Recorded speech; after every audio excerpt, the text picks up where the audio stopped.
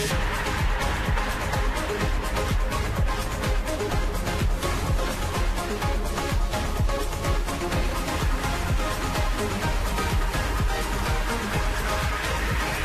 hello and good evening to all of you. Unfortunately, it appears that the weather hasn't quite read the script here. There has... So, Jim, who would you identify as the key man in this fixture? Yeah, Kylian Mbappe there's nothing more frightening for a defender when he's running at you at full speed. He gets into a stride so quickly and seems to just glide across the turf. But when the goal's in front of him, he's also got that cool head that's required to, to pick a spot and finish everything off.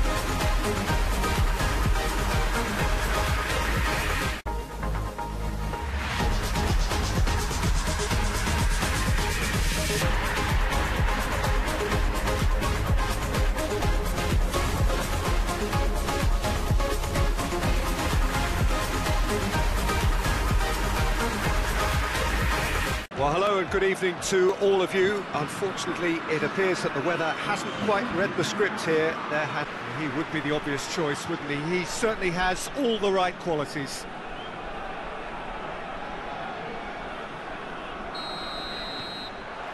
And that gets things running. Shibasaki. And here's Osako.